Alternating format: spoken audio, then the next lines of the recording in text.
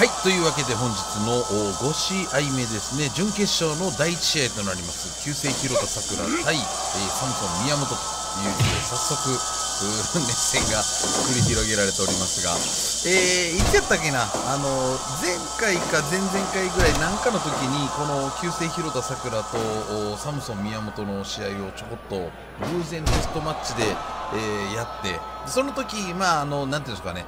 ロジックのおかげでそうなったとは思えないようなこのなんていうかね偶然の動きが、えー、出たんですよね。でそれを見た僕はあのまあ、こんなんちょっとたまたまテストマッチでやってしまって、えー、面白かったんでこれが実現できればみたいなことをその時言ったと思うんですけども、え、それがついにただこれが決勝のステージじゃないっていうのが僕としては、え、どうだろうって思ったりしたんですけどね。あとあのガチで、えどっちが勝ったか負けたかは覚えていません。まあ、どっちでもいいような気がします。もう多分ね、その試合結果よりも、その試合の中身の方がね、はちゃめちゃな感じになったんで、ああ、こういうのができたらあいいなって思ったっていう覚えがあるんですよね。もちろんあのファイプロというのは、えー、同じ対戦カードでも同じ結果になることはあっても同じ試合内容になることはまあほぼないですので、えー、そういう意味ではあの時の再現ができないかもしれませんけどね、まあ、よくある話としてなぜ今録画してなかったんだろうっていうようなことはよくあることなんですけども。まあこれはもうしょうがない。それも私の持ち合わせたんだということなので、えー、ひたすら実況でなんとかフォローというかカバーをしたいと思います。あくまでもどちらが弱いかなんですけどね。さあ問題はこのサムソン宮本。連発している呪文攻撃。ですけども。これがねでもダメージはでも一応与えれてるはずなんですけどね。連続で決まって。ただその分諸刃の剣で鬼のようにスタミナを消耗しますので。これ毒切りも同じなんですよね。確か。あの毒切りもそういう要素がありまして、えー、連発するとあっという間にヘロヘロ状態になるということですね、まあ、だからこう自分に負けるみたいな感じですかね。あ今俺いいこと言ってるかもしれない。相手に負けるよりもねあの 毒切りとか、えー、呪文攻撃を連発して自分で自分の首を絞めて負けてしまうかもしれませんね。タミナが奪われてしまう。だからもう全くこう普通のプロレスの感覚とは違う戦いになりそうなんですが、えー、もう1試合ね準決勝ラム会長とサンボあそこ。こっちはもう全然ちゃんと普通に戦うでしょうねなのでこれが僕はなんとなくこの最弱王ハイジャク王でね、えー、最弱王の決定戦、うん、実事実上の決勝戦と言ってもいいんじゃなかろうかというところですがさあどうなりますか？全くこう お互いこの呪縛覚悟で技を繰り出すそしてスタミナ切れても気にしない。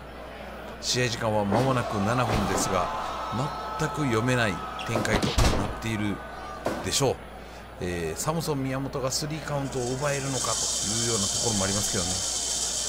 これもサムソン宮本ねあこれ今日日曜日ですね。もうだから多分あのサムソン宮本5番勝負は終わってますよね。だから結果ばらしても別にいいですよね。まあでもあんまり言わない方がいいか。サムソン宮本は、えー、なかなか勝つのが難しい。まあそれはねリアルで言うとえー史実に基づくと学生プロレス乗りのアマチュアプロレスとして活躍した人ですからえーまあ、本来このプロのリングに上がることすら、えー、どうかって言われてもおかしくないわけですけどただまああのだから弱くていい。弱くても別に誰も文句言わないということになるんです。それでもね一応ねなんていうんでしょうパイプラの意思じゃないですけど、一応スリーカウントを奪うロジックにはしてるはずなんですよね。ただまあ今回あのクリティカルがないのがねあの旧姓広田桜にしたら痛いところ丸め込みで、えー、テクニカルの KO が奪える広田桜はその道筋が1本途絶えてますからかなり苦しいはずです。さあ試合時間まもなく10分というところですがまともにまだあんまり組み合ってないぐらいの状況ですね。お互いねあの回転、えー、相手の周りを回るのと距離を取るっていうのがロジックがかなり多いのでこういうことになるということですね。なかなかコンタクトを取らない。これぞこれぞソーシャルディスタンスプロレスと、えー、今なら別に誰でも許してくれるんじゃないかというところですね。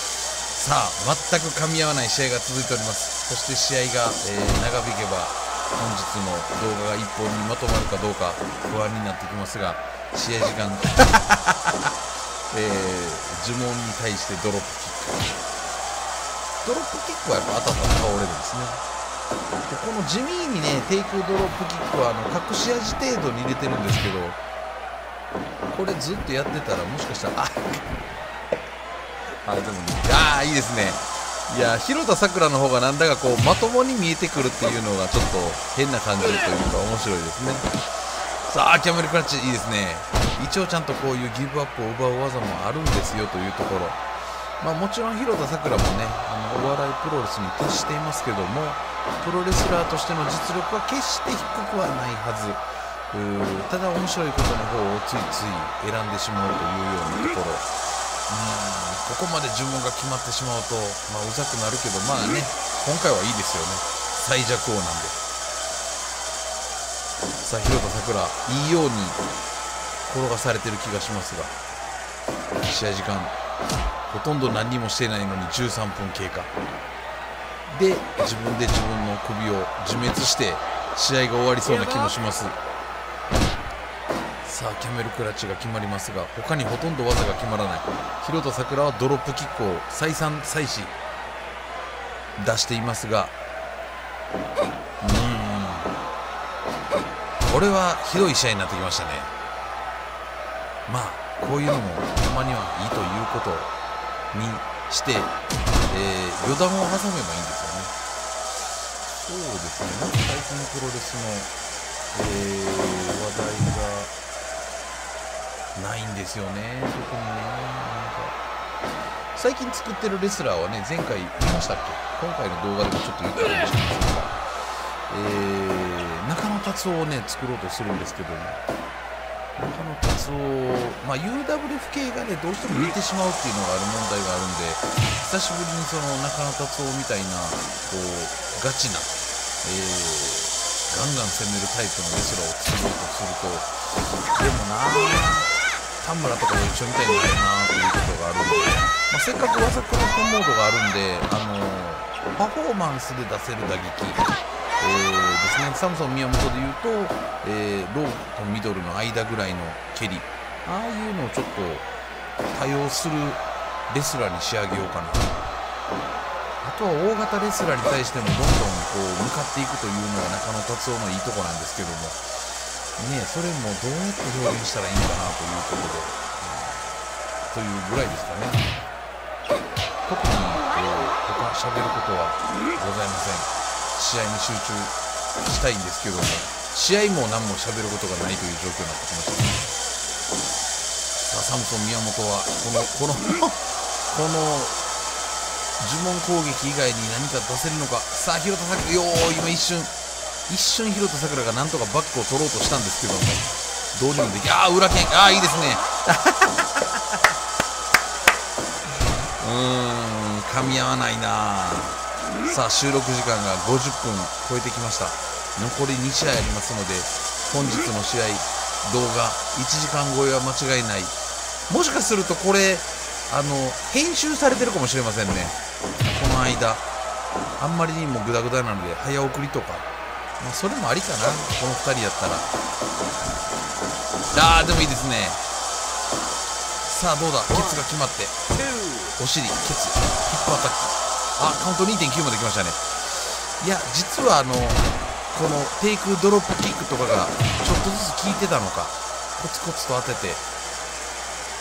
サムソン宮本が実は体力を消耗かなりしている。あ今今あの呪文を避けるっていうのがねこれたまに見られるんですよね。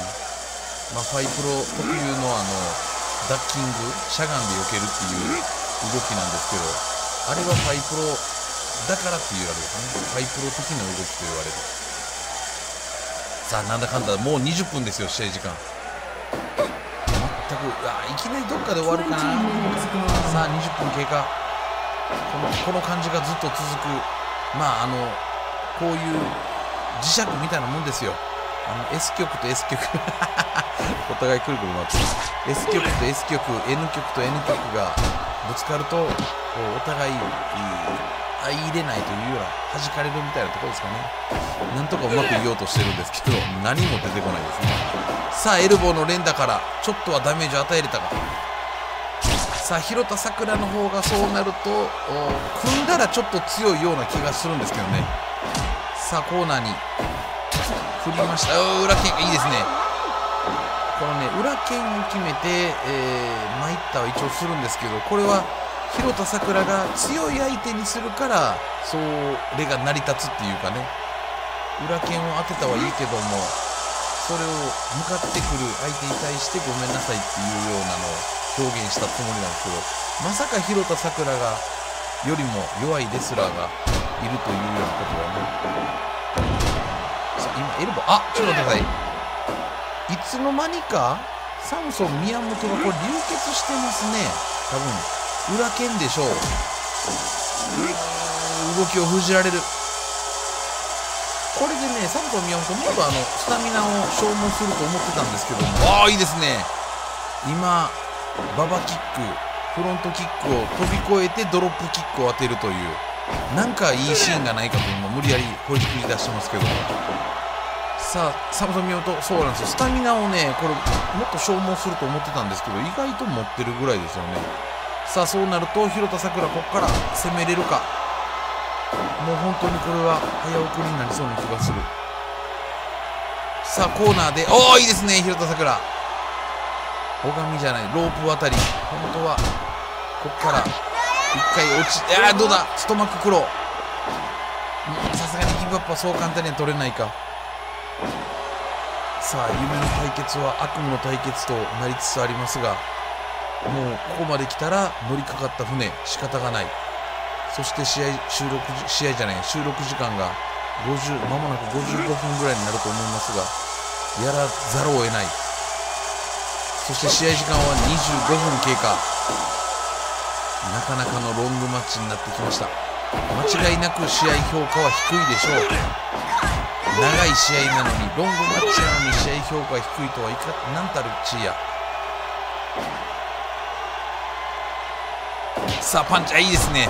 あでもパンチで倒れるっていうことは広田さくらが体力を消耗していると。おおそしてサムソンドライバーがここで出て一気にフィニッシュということになるのかサムソン宮本が勝つことはなかなかない。そしてサムソン宮本が勝てばあのテーマ曲が流れる。本当にあの曲がサムソン宮本の入場曲かどうかは僕もよく分かりませんが、えー、サムソン宮本引退10番勝負という実際に行われた、え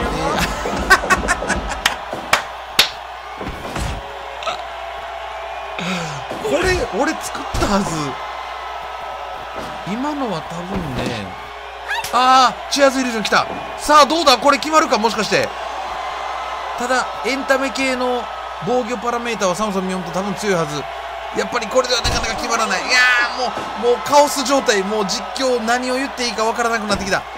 サムソン宮本ロープに振りますが 自分が自分がスタミナ切れになって裏剣で倒される。いやもうもう好き勝手やりやがって実況泣かせ。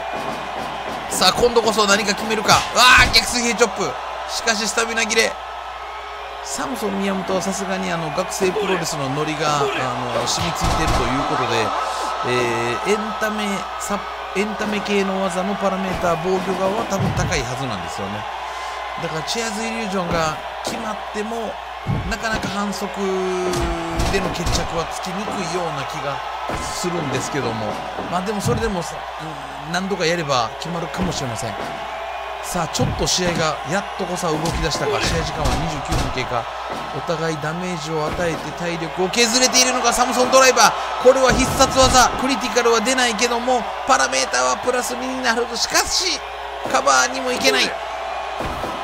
さあ股間を蹴ってこれはあど何？どうするの？倒れ込んでヘッドバト自分も倒れる。もうサムソン宮本は手を出せない。さあ試合時間間もなく30分というところサムソン30分経過。これにこれを早送りじゃなく見ている場合皆さんよく付き合ってるなと私は感心するばかりでございます。私ももう何を喋っていいかわからない状態ですがさあカバーに行って決まるのか？いやー決まってしまった！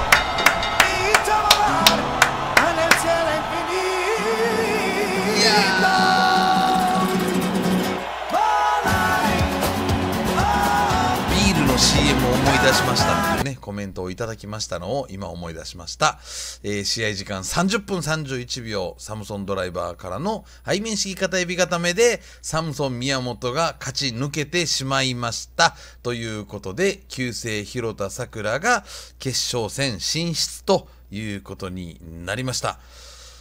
いやー、長かったですね。はい、じゃあ残り試合まだ残り2試合あるので、次々行きましょう。Thank you.